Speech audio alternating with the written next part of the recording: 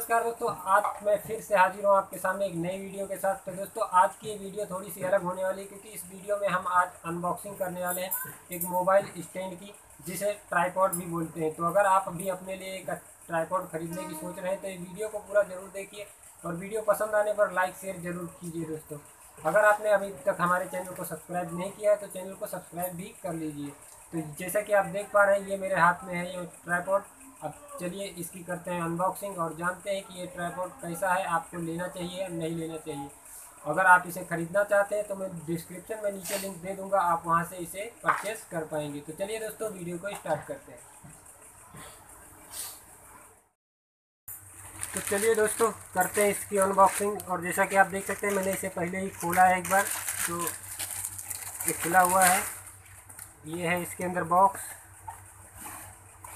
और कुछ ऐसी है इसकी पैकिंग देख सकते हैं। तो अभी निकालते हैं ट्राईपॉड को।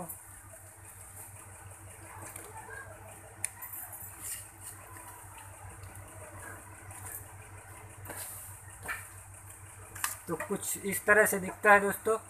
वैसे क्वालिटी तो जो मैंने देखी थी वही सेम मुझे मिली है, जो मैंने बुक किया था, सेम है।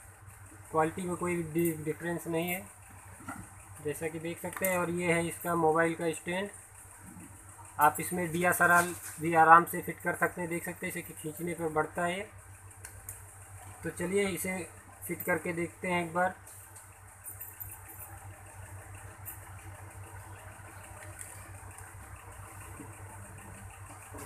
जैसा कि आप देख पा रहे हैं, ये देखिए।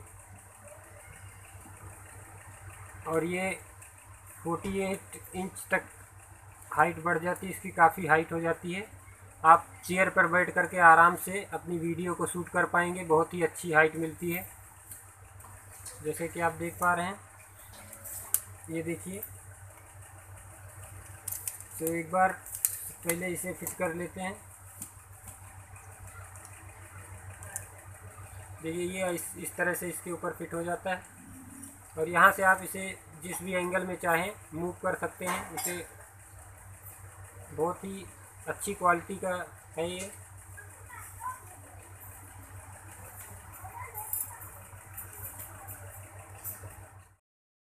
अगर आपको ये ट्राईपोड पसंद है, आप इसे ख़रीदना चाहते हैं तो लिंक डिस्क्रिप्शन में नीचे मिल जाएगा, आप वहाँ से इसे आसानी से ख़रीद पाएँगे। अगर आपको ये वीडियो पसंद आए, वीडियो को लाइक शेयर ज़रूर कीजिए। आज की वीडियो में इतना ही तो मिलते हैं किसी नेक्स्ट वीडियो में, तब तक के लिए नमस्कार दोस्तों।